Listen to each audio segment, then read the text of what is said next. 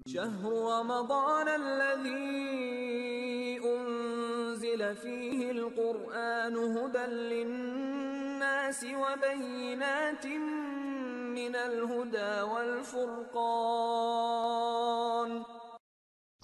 ওয়ালাইকুম আসসালাম ওরহমতুল্লাহি বরাকাত ইন আলহামদুলিল্লাহ ওসালাত আসসালাম আলা মাল্লা নবিয়া বাদা জি সম্মানিত ভাই আপনি যদি জানতে চেয়েছেন যে আপনাদের এলাকায় সালাত তারাই করা হয়, বিশ টাকাত করে, খুব দ্রুততার সহিত এবং এমত অবস্থা আপনি তাদের সঙ্গে জামাতে শরিক হওয়ার চেয়ে কি একা কি পড়া আপনার জন্য উত্তম হবে? যদি আপনি ধীরে স্থিরভাবে আট টাকাত পড়েন, এটা জানতে চেয়েছেন। জি ভাই, আল্লাহ রসুল সাল্লাহ সাল্লামের রাতের সালাদ সম্পর্কে যখন আয়েশাকে জিজ্ঞেস করা হলো সৈয়দ বুখারির হাদিস সৈয়দ বুখারির এগারো শত সাতচল্লিশ হাদিস, আল্লাহ রসুল আয়েশাকে বলা হলো কাই ফেকানাত সলাত রসুলিল্লাহ সাল্লাহ সাল্লাম আল্লাহ রসুলের রাতের সালাত কেমন ছিল? বা কত রেখাত ছিল? তখন আয়েশা রাজিয়াল্লাহ বললেন, মা কানা ইয়াজিদ রসুল্লাহ সাল্লাম ফি রমাদান আলা ফি গৈরিহি আলা এহদা আশারাত রাকাতান। আল্লাহ রসুল রাতের সালাত এগারো রাকাতের বেশি পড়তেন না।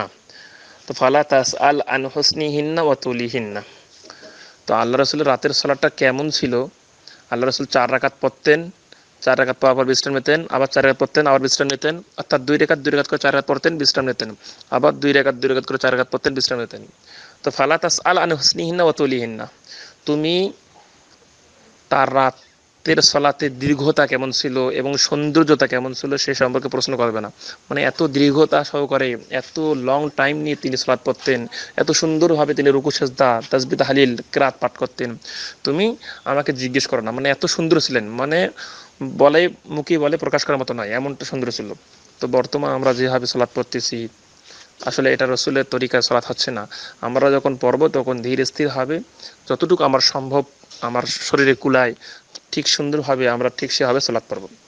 তাই এই ক্ষেত্রে আমি যেটা বলতে চাচ্ছি আপনাকে, যে এমত অবস্থায় আপনি যদি একাকী বাসায় এই নফল সালা যেহেতু বাসায় পড়াই উত্তম হবে, এই সালাদটা যেহেতু যদি আপনি বাসায় খুব ধীর স্থির সহকারে, সুন্দরভাবে তার তিল সহকারে এবং রুকু, সেজদা কিয়াম কউদ, সবগুলো ভালোভাবে আপনি যদি সালাদ পড়েন, এটাই আপনার জন্য সবচেয়ে উত্তম হবে। যেহেতু বিশ টাকা পড়তে গিয়ে আপনার সমস্যা হচ্ছে, রুকু সেজদা ভালো করে হচ্ছে না, খুব তাড়াতাড়ি করতেছে সেখানে অনেকের রসুলের তরিকা মোতাবেক হচ্ছে না। তাই আপনাকে সুন্দর সিস্টেমে রসুল্লাহ সাল্লাম যেভাবে সালাদ পড়তেন।